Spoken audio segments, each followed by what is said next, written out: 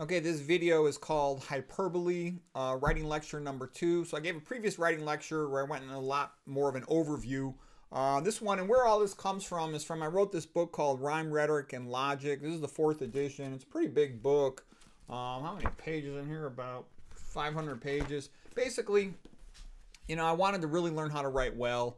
I had written a previous book, my Straight A at Stanford on Harvard book, and I had some friends that write for a living, and they told me, you know, all my mistakes, and they were right about what they said. So I decided to try to really learn how to write well. Um, and I've read tons, like, you know, hundreds of books on the subject and all kinds of blog articles and stuff. So then one of the things this, this lecture in particular about is these are different forms of rhetoric. The Greeks basically studied all the best speakers. To be a good public speaker was very important in ancient Greece. And they said, what are their techniques that enable them to speak and write so well? Um, and so I basically studied all those. Aristotle had a great summary of them. And this hyperbole is just one example of the many. So I'll give additional series of lectures on it.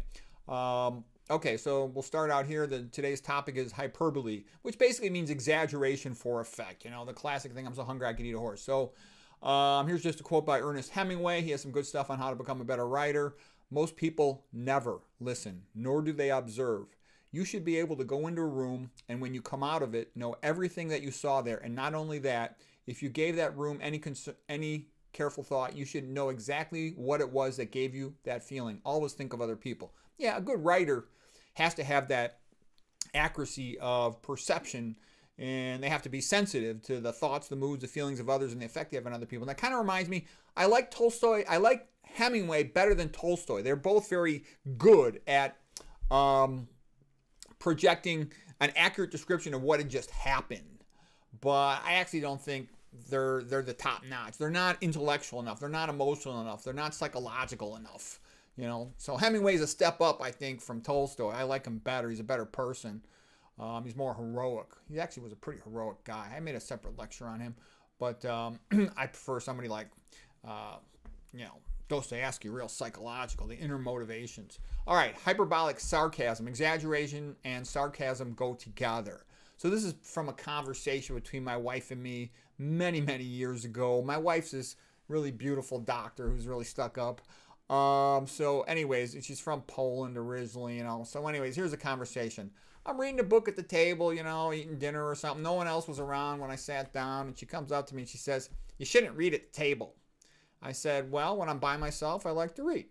She goes, Instead of reading, why don't you get a moonlighting job and make some money for this family? I said, Oh, yeah, right. So you can divorce me, then I got to pay double alimony? No way. Then the wife said, You are so fucking autistic. I can't believe I married you. My ancestors were royalty. I said, Oh, yeah, right. Every Polish woman says her ancestors were royalty, one of her relatives got cancer at Chernobyl, and her father is an alcoholic. Wife, you are setting a bad example for the children by reading at the table. I said, Oh, really? I just finished reading The History of Poland by Michener, and he said that the peasants did not allow any books in the kitchen, but the aristocrats encouraged their children to read at the kitchen table. So I'm training the children to be aristocrats, and you are training them to be peasants. Wife, I would rather our kids be poor and have normal personalities than be autistic losers like you. Me, you know that retarded guy at the grocery store who bags your groceries? Wife, yes.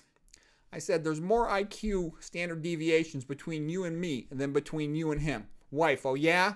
I know how to talk to people like you. I have a lot of experience talking to people like you. I rotated through the mental hospital. There were patients there with delusions of grandeur just like you. Me, trying to have an intellectual conversation with you. It's like trying to teach the dog how to read.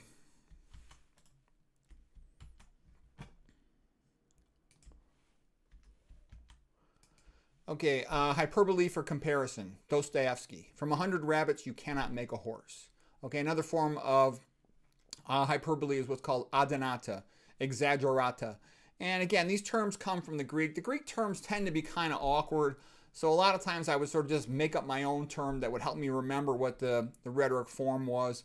And so here's another example of, you know, a series of exaggerated statements. So this is like a woman saying to a man, not even if I was childless and the last woman on earth and you were the last man on earth, would I sleep with you? Okay, so anyway, so that's just uh, one little small excerpt from the book, and that's it for this lecture.